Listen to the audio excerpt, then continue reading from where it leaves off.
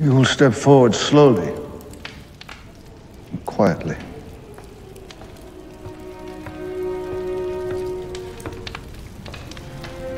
Do you recall our conversation in the garden about the woman of the fountain? Yes, of course. The only woman. You remind me so much of her.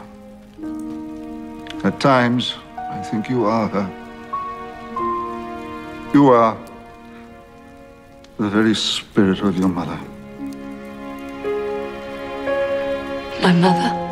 Hmm. She had a mind and spirit all her own. She was an individual. She was not made for court life any more than you are.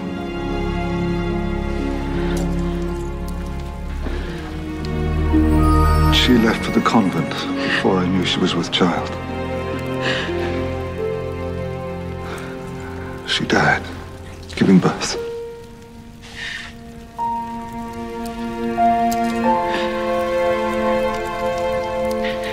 You're my father. Yes. But I am a terrible man. A very selfish man. I have cared more for France than about you or even her. Why are you telling me this? Because there are sacrifices you must make. For France. Sacrifice. Our country's treasury is empty. Enemies surround us. Lies, treachery. We need money, child. The young Duke, Lantillac, his money. When you marry him, No, no. I won't marry that man. I won't. you don't have to agree, child. You have to obey.